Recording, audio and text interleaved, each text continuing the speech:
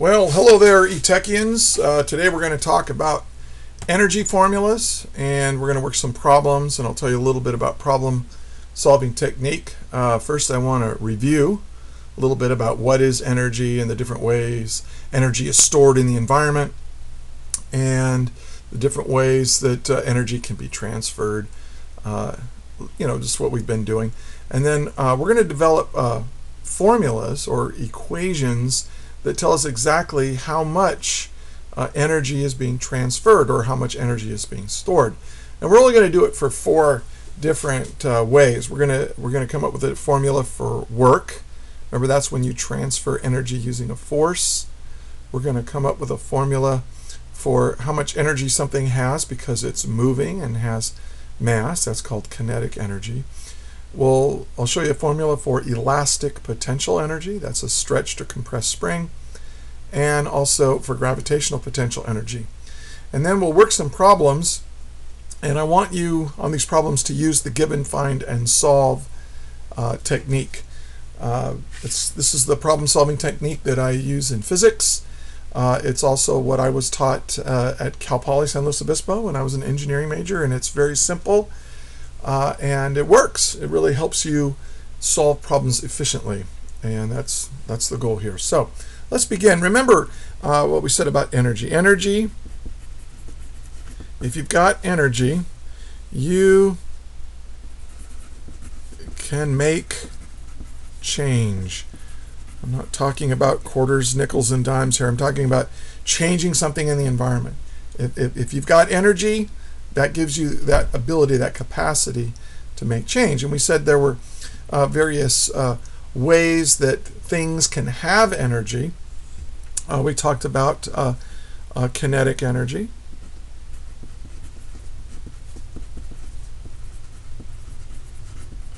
Um, and we're going to abbreviate that from now on. I'm just going to call it KE.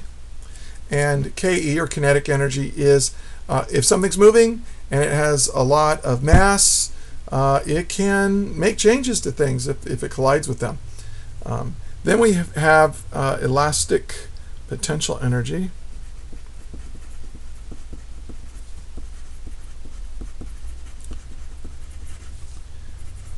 and we abbreviate that uh, with EPE. Okay, and different textbooks um, do it differently. Um, in my physics class, for example, uh, we would call this U sub E. But um, and but most of you aren't in my physics class, so it's it's not a big deal. Um, but hopefully you'll take it next year. But there's different people, different textbooks that use different variables to represent these ideas, and you just have to um, go with it. And um, it's not that difficult. And then we have gravitational potential energy.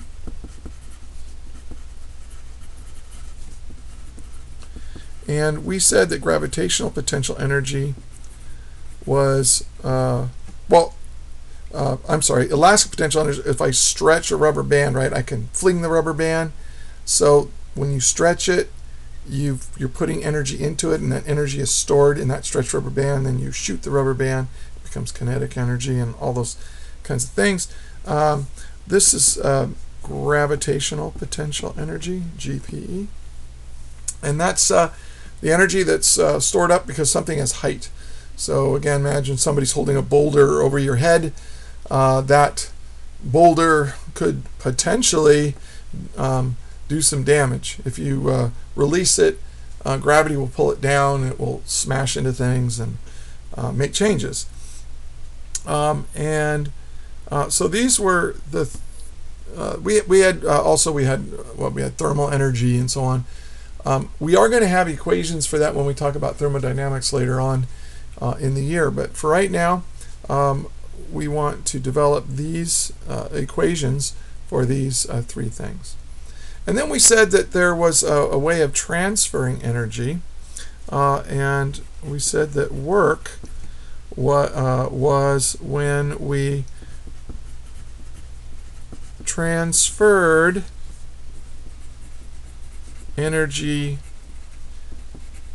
using a force. Now a force is just a push or a pull. And for example, here's a roll of tape.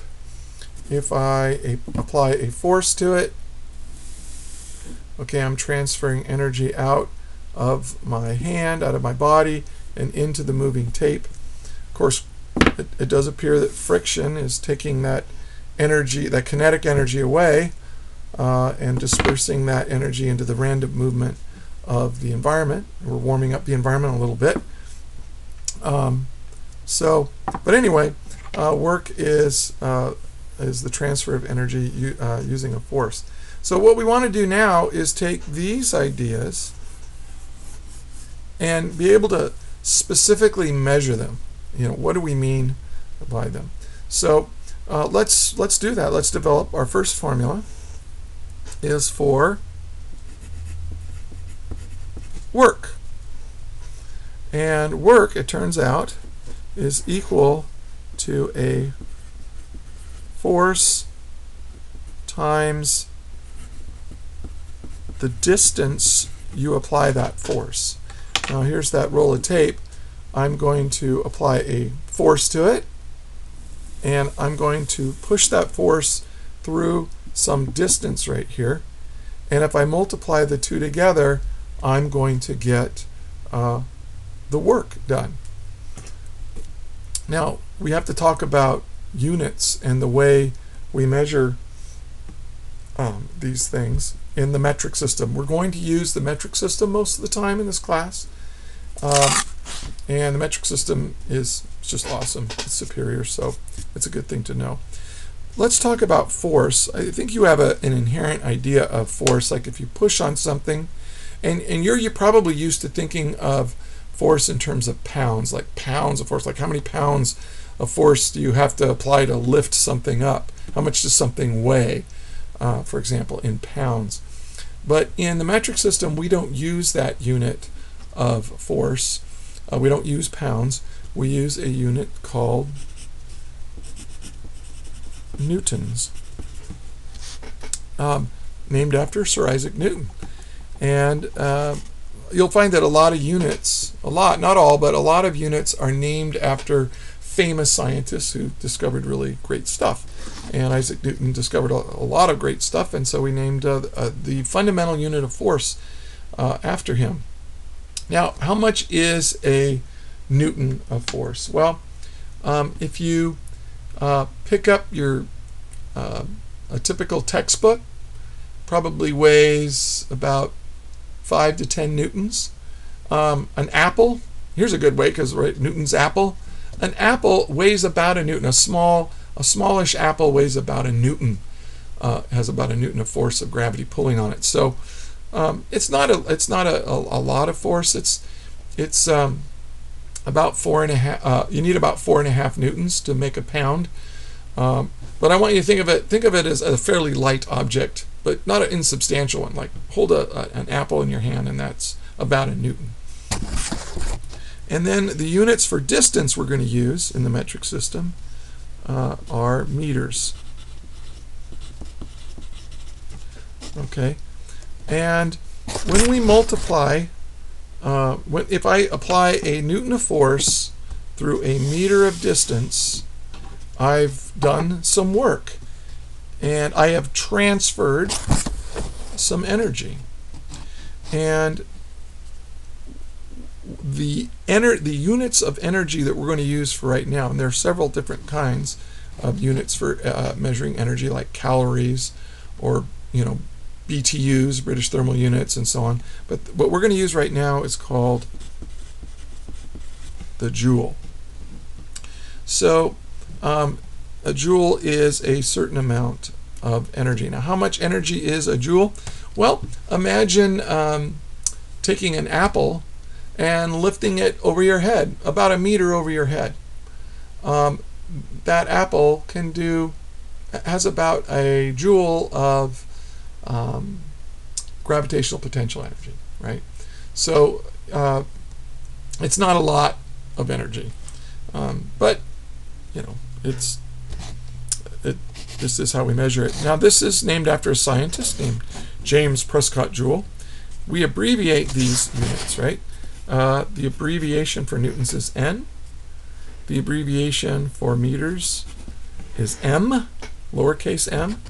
And when you multiply a newton times a meter, you get a joule, capital J. Those are the abbreviations for the units.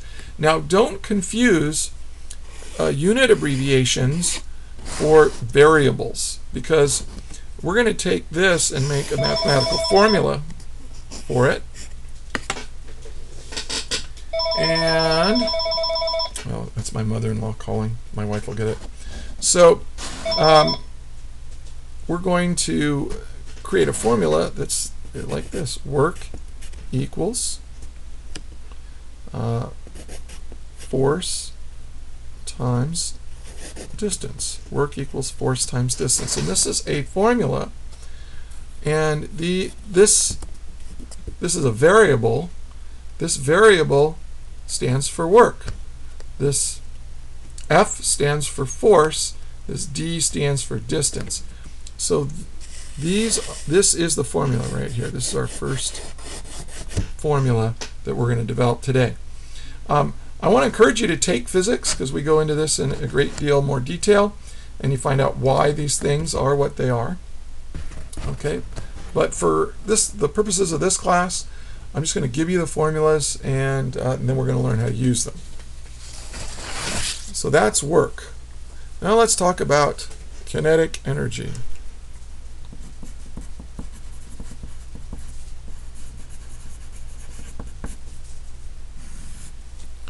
All right, kinetic energy is a measure of how much energy something has because it has mass and it's moving. Well, the formula for it is kinetic energy is equal to one half of an object's mass times the object's velocity squared. It's the velocity squared. One half the mass times the velocity squared. So imagine here we've got a like a a, a car running down the road. Terrible car. But anyway, it has a certain mass, right?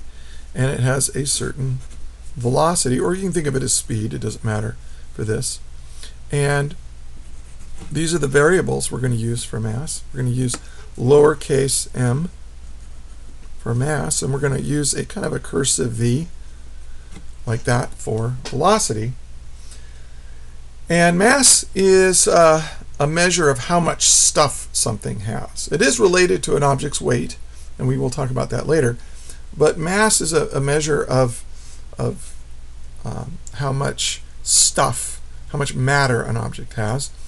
And we have a unit for mass, which is the kilogram. Now I'm uh, I'm videotaping this lecture at home. I don't have a kilogram mass with me, but um, I'm sure Mr. Kinney or I will, will be holding up a kilogram mass, even as I speak right now. We're holding up a kilogram mass to show you how much a kilogram is. And it's it's a pretty good chunk of metal. It's like if you had a big wad of brass or something, you could hold it in your hand. Um, now, uh, in velocity, we measure velocity as a measure of how fast we're going, but we're going to use the meter, uh, the uh, metric system, and that's in meters per second. That's what we're going to use. Now, of course, there's lots of different units for velocity. Um, for, for example, the one that you're most familiar with is miles per hour, right? But,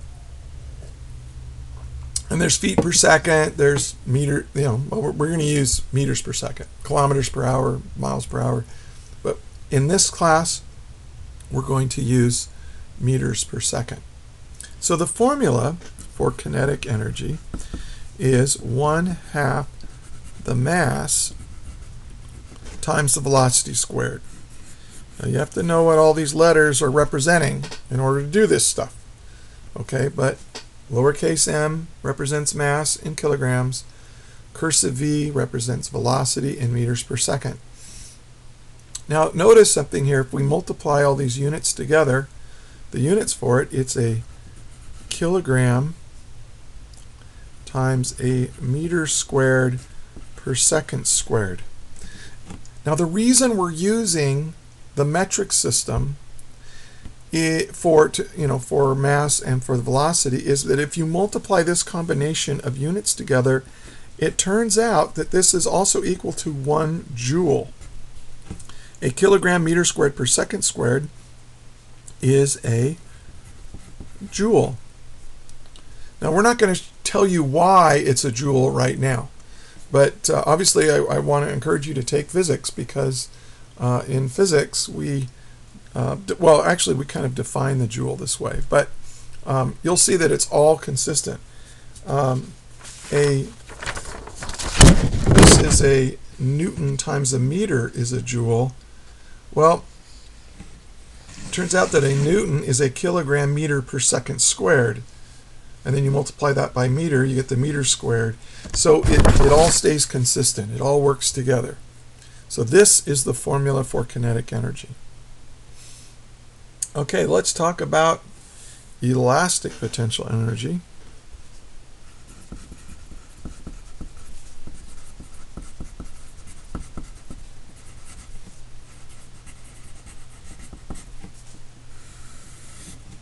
And we have a kind of an interesting um, equation for it. Kind of looks like the one for kinetic energy. But if I take a rubber band and I stretch it, let's see if I have a rubber band in here somewhere. Uh, here's a spring. But anyway, if I take a spring and I stretch it, okay, so there's obviously going to be a distance involved here, right? I'm going to stretch it a certain distance. Um, and um, it also, the, the amount of energy stored in it isn't, doesn't just depend on how much I stretch it or compress it, but also how, how springy or stiff this material is. And so those are the two things, the nature of the material, how stiff the material is, and how much you actually stretch or compress the material. So elastic potential energy is going to be equal to 1 half the stiffness of the spring. Now we have a name for the stiffness of a spring.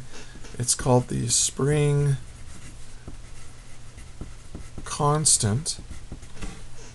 Okay, and uh, and then uh, times the distance stretched Okay, this is the, uh, the distance stretched. Let me squeeze that in like this. Or compressed. You know, you can compress it. Um, but if you're thinking about a rubber band, you, you're just going to stretch that. Squared. You got to square that. Okay, so let's write that as a formula. 1 half. Now, we have a variable name for a spring constant and all the scientists got together and decided to use a lowercase k for spring constant. Okay, so when, if, if I'm going to use a lowercase k uh, from now on, it's going to mean the spring constant, and it measures how stiff, how much uh, force you have to apply to stretch it one meter. That's that, well, we'll get to the units here in a second. Distance stretched, I'm just going to use d like I did for work squared, 1 half kd squared. And there's my formula for elastic potential energy. Now let's talk about units here. The spring constant, think of it as how much force do I need to pull on this to get it to stretch one meter. So it's newtons of newtons of force to stretch one meter. So newtons per meter. Okay, um, and remember we used a capital N for newtons and uh, M for meter. Again, when we were using lowercase m uh, in this formula, right, it stood for mass. But when I use a lowercase m as a unit, it means meters. It's kind of confusing, sorry, but that's just the way it is. Now, distance is also measured in meters, but we're squaring the distance, so this is meters squared. And notice what happens here. What is meters squared divided by meters? See, I'm dividing. Well, think of meters squared as meters times meters divided by a meter. Oh, that goes away. So, oh, look what's left. Newton times a meter. Well, what is a Newton times a meter? It's a joule. And a joule, again, is our unit of measure for energy. So uh, we get we, we get joules for elastic potential energy, joules for kinetic energy, and again joules uh, for work. Newton times meter is a joule. So it's all going to be joules, including our next formula. And our next formula is ela not elastic, I'm sorry, gravitational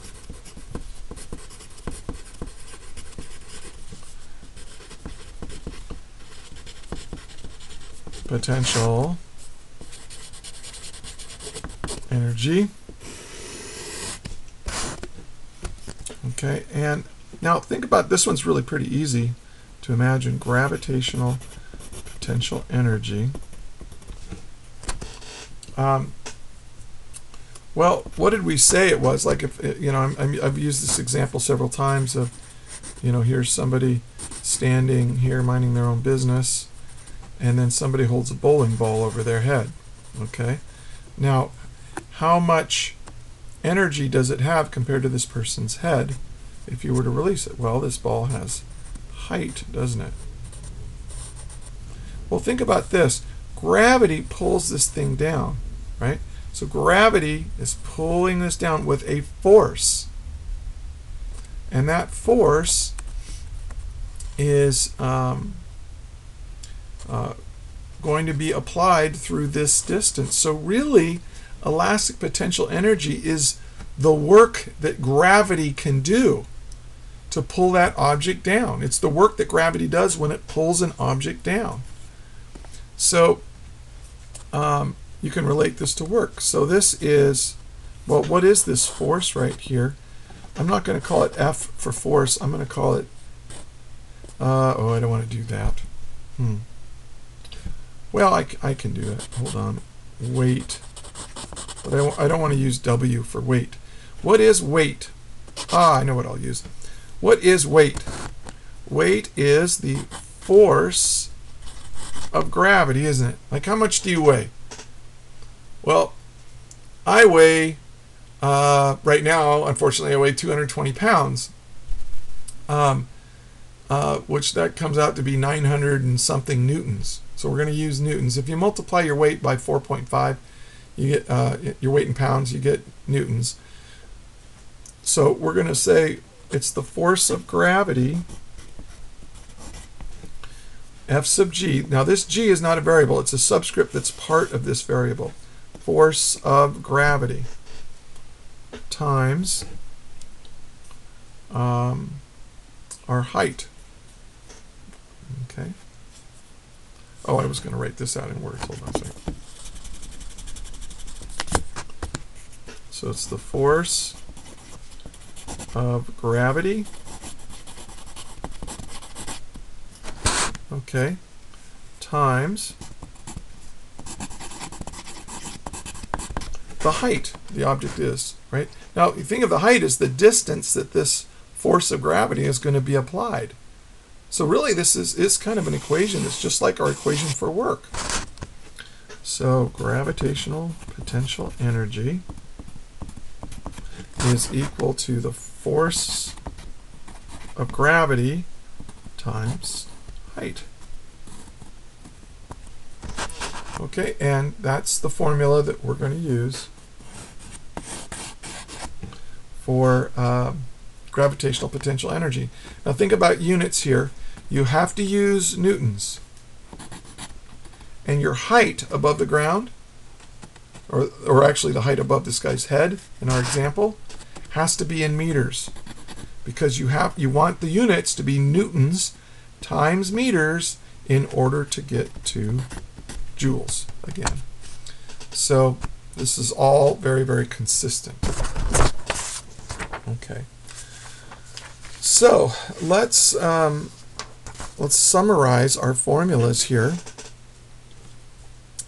uh, and make a, what we call a formula list. Okay, we have work equals force times distance. Kinetic energy equals 1 half mv squared. Elastic potential energy equals 1 half the spring constant times the distance squared. The distance that's been stretched or compressed. And then gravitational potential energy is equal to the force of gravity times our height above the ground. So these are the four formulas that you're going to use to solve problems. Now, what you need to do is um, make a list of, of this. And actually, I'm going to make that part of the homework. Um, I'm going to have you, you create what's called a quantity chart for all of these variables. Um, and uh, and that'll be that'll be very very useful to you. But now what we want to do is we want to solve some problems using these formulas. Okay, and I'm only going to do about three example problems uh, here, um, even though there's four formulas. And uh, I think you'll get the hang of it, and then you'll be able to do uh, the assigned homework problem. So let's do uh, example number one. Let's see. A ball, a pass, okay. A ball has a mass, I think that's what I was thinking of here, as a ball has a mass of 0.25 kilograms and is thrown with a velocity of let's make it um, fairly easy to do the math how about 20 meters per second how much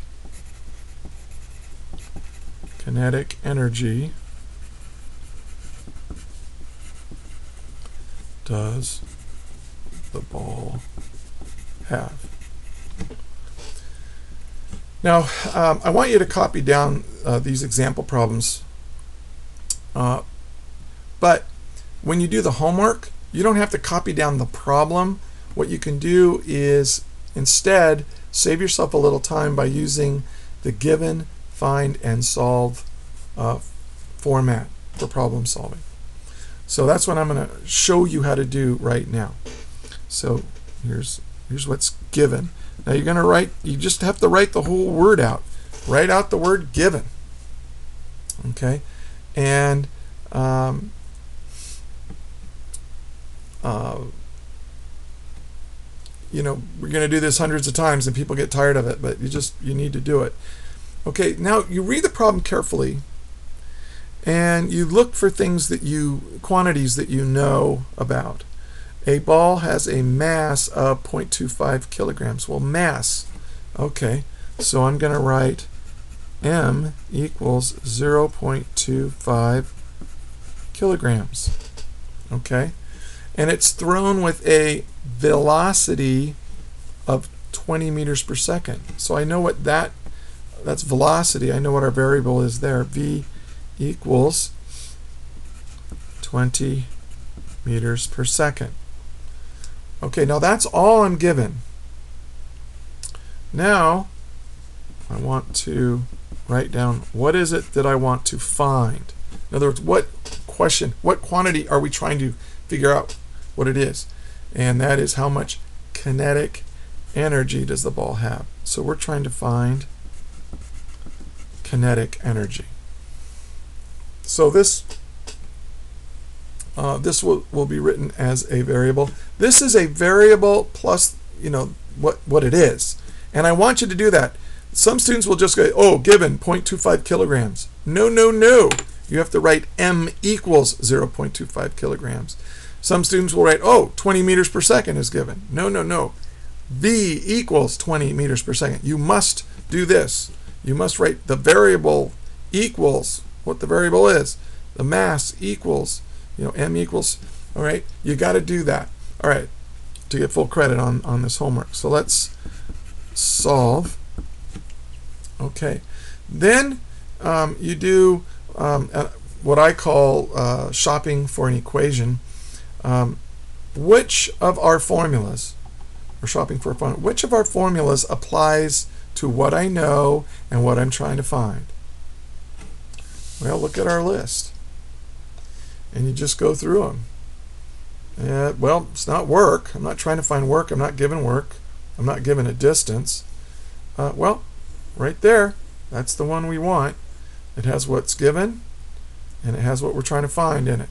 So that's perfect. So I'm going to write KE is equal to 1 half mv squared. Yes, you have to write down the formula. Equals, now you can plug in your numbers. 1 half the mass, 0.25 kilograms, times our velocity of uh, 20 meters per second squared. Oh, don't forget to square it. It's very common for students to forget to square the velocity when they're calculating kinetic energy. And now you just need to get your calculator out and do it. Um, I don't think you really need a calculator here. Uh, what's 20 times 20? That, that would be 400. 400 divided by 2 is 200. And 200, uh, well, 0.25 is like 1 fourth. So what's 1 fourth of 200? Uh, that would be 50. 50 joules. Then you box your answer. Okay. Um, now in this problem you don't really need to, but usually I, I want students to you know draw pictures. And, you know here's the ball and it's moving, but this one was the next problem we do we might actually um, draw a picture of it. Um, so eh, the back of this paper. Let's do another example.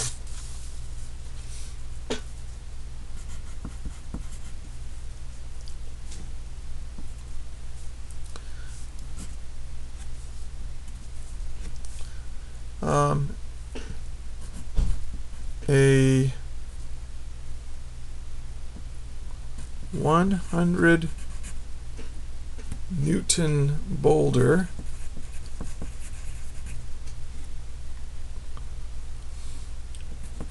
is perched at the top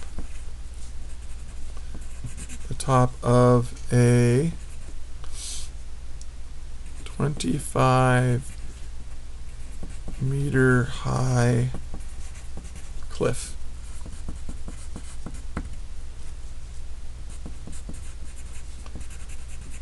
How much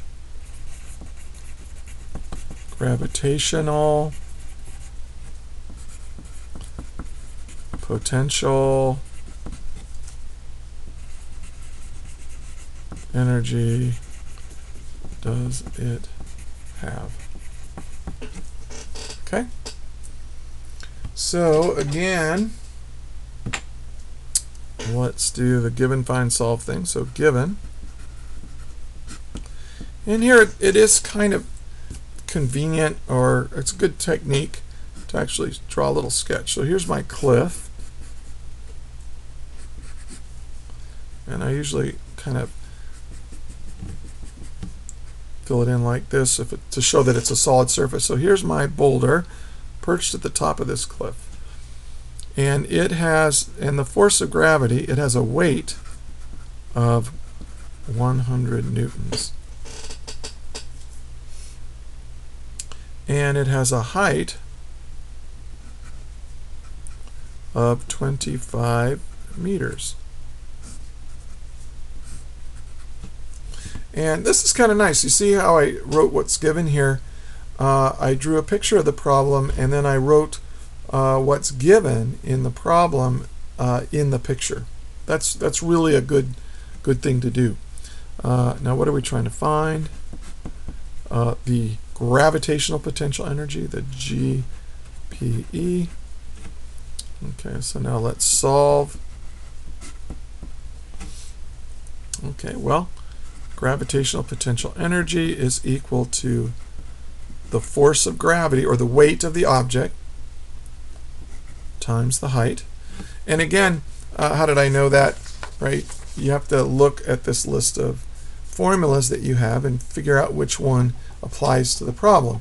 Now, I know this is really obvious right now, but we are going to get to more difficult material, and we're going to have a lot of formulas by the end of the year, and you're going to need to know how to use all of them. So, um, okay, gravitational potential energy is equal to the force of gravity, 100 uh, newtons, and it's going to fall a height of 25 meters.